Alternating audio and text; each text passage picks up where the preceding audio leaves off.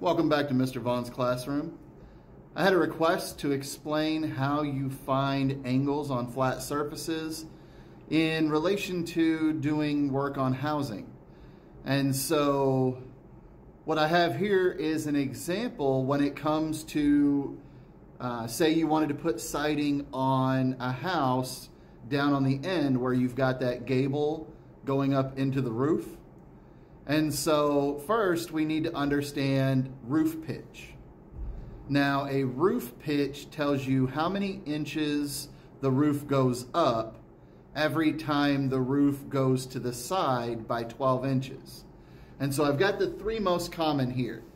The most commons are four inches of rise for every 12 inches of run, six inches of rise for every 12 inches of run, or 8 inches of rise for every 12 inches of run.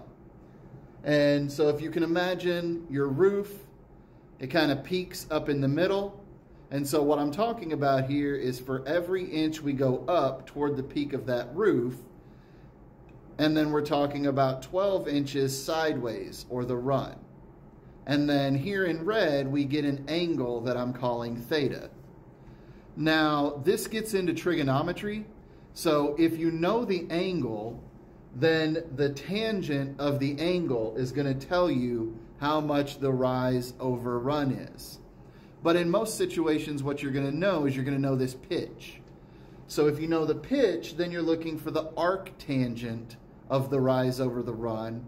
And on a calculator, you're generally going to see an arc tangent written as tan to the minus one power and then you're going to have your rise over your run. So on a calculator, I threw mine into my phone calculator. If you turn it sideways, it'll give you the scientific calculator. And yours might have a button that says second. Mine has these buttons that look like arrows going in opposite directions. And if I hit that, and then I hit the tangent button, it'll give me parentheses and I can take the rise and divide it by the run. So for the examples, if I want the arc tangent of a pitch that's 4 inches over 12 inches, then I find out that my angle is 18.43 degrees. If I want the, the arc tangent of a roof with a 6 over 12 pitch, I get 26.57 degrees. And if I want the arc tangent for a roof that has 8 over 12 pitch, I get 33.69 degrees. I hope you found this helpful, and I look forward to seeing you in the next one.